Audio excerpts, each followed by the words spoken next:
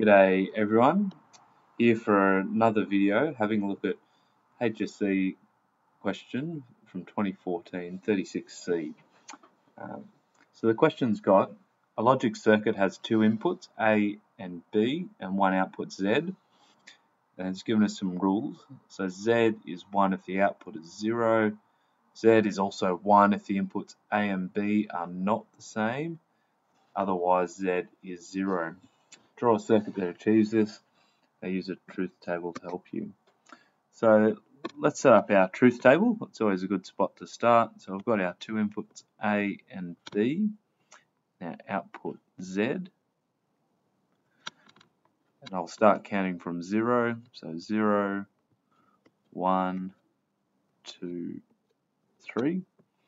There's our four possible values. Let's fill this in. So Z is 1 if the input A is 0. So that means it's a 1, 1.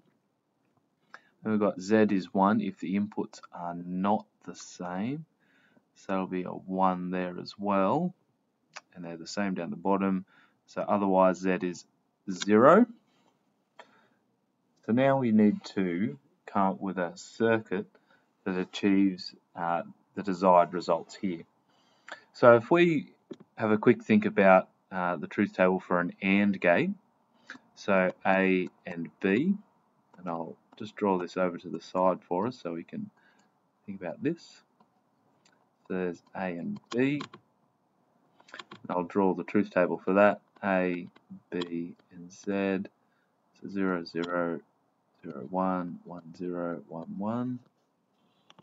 So A and B are on the rest are zeros.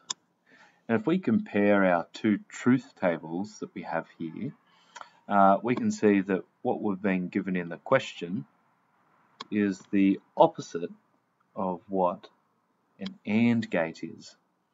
So the conclusion we could reach is that the output in the question is the inversion of A and B. In other words, a NAND gate. So our circuit be drawn like this with an inverter to produce Z or more correctly and a little bit simpler we could use a NAND gate to produce our desired output there.